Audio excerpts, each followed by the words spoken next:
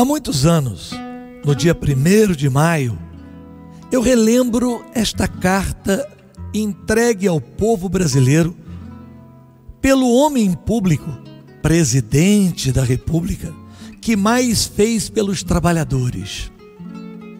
Getúlio Vargas, o presidente do povo, dos trabalhadores, chamado de pai dos pobres, deixou esta carta para todos os brasileiros. Hoje ela é atual.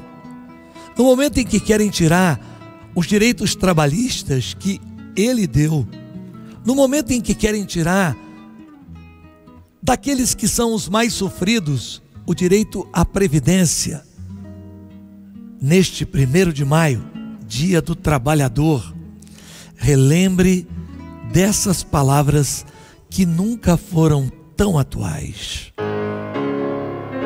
Mais uma vez, as forças e os interesses contra o povo coordenaram-se e novamente se desencadeiam sobre mim. Não me acusam, insultam. Não me combatem, caluniam. Não me dão direito de defesa. Precisam sufocar a minha voz e impedir a minha ação, para que eu não continue a defender como sempre defendi o povo e principalmente os humildes. Sigo o destino que me é imposto, depois de decênios de domínio e expoliação dos grupos econômicos e financeiros internacionais. Fiz-me chefe de uma revolução e venci Iniciei o trabalho de libertação instaurei o regime de liberdade social. Tive que renunciar, mas voltei ao governo nos braços do povo. A campanha subterrânea dos grupos internacionais, aliados a grupos nacionais revoltados contra o regime de garantia do trabalho, a lei de lucros extraordinários foi detida no Congresso. Contra a justiça da revisão do salário mínimo, se desencadearam os ódios.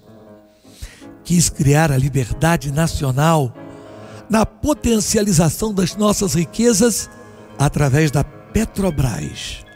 E mal começa a funcionar, a onda de agitação se avoluma a Eletrobras foi obstaculada até o desespero. Não querem que o trabalhador seja livre, não querem que o povo seja independente. Assumiu o governo dentro da espiral inflacionária que destruía os valores do trabalho. Os lucros das empresas estrangeiras alcançavam até 500% ao ano nas declarações de valores do que importávamos, existiam fraudes constatadas de mais de 100 milhões de dólares por ano. Vem então a crise do café. Valorizou-se nosso principal produto. Tentamos defender o seu preço. E a resposta foi mais uma violenta pressão sobre a nossa economia, a ponto de sermos obrigados a ceder. Tenho lutado mês a mês, dia a dia, hora a hora, resistindo a uma pressão constante, incessante, tudo suportando em silêncio, tudo esquecendo, renunciando a mim mesmo, para defender o povo que agora se queda desamparado. Nada mais vos posso dar a não ser o meu sangue se as aves de rapina querem o sangue, o sangue de alguém, querem continuar sugando o povo brasileiro, eu ofereço em holocausto a minha vida. Escolha este meio de estar sempre presente convosco.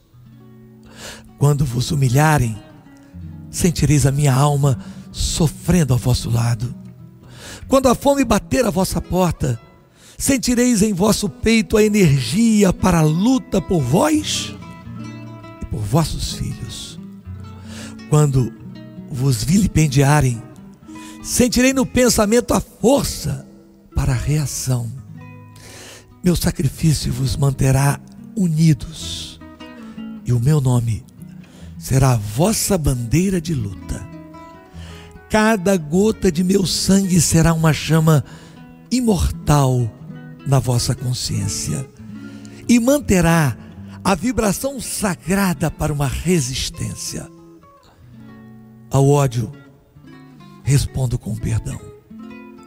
E aos que pensam que me derrotaram, respondo com a minha vitória.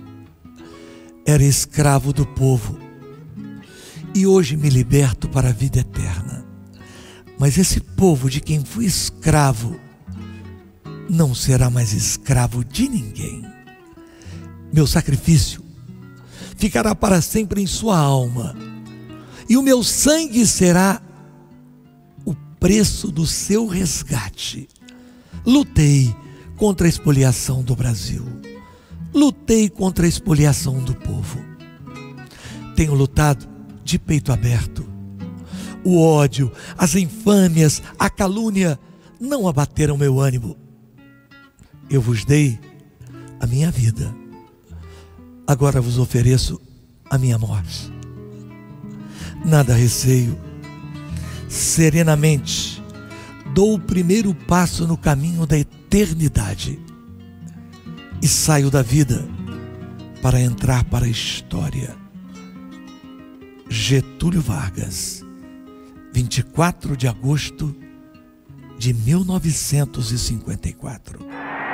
E juntos havemos de reconstruir um Brasil melhor, onde haja mais segurança econômica, mais justiça social, melhores padrões de vida e um clima novo de segurança e bem-estar para este bom e generoso povo brasileiro.